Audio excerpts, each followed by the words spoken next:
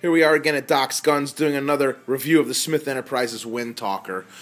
There's four of the Smith Enterprises Vortex flash hiders, and off of their website it clearly states the Vortex Flash Eliminator is a precision device, not just an ordinary issued flash eliminator. This Vortex has been manufactured in such a way that resistance will be met when the first installing the Vortex into the body of the sound suppressor coupler. Well, let's take these four and let's see what kind of resistance we get. Well, just drops right in. There was no resistance on that 223. Let's try another 223. Uh, once again, no resistance drops right in. Let's try this one here.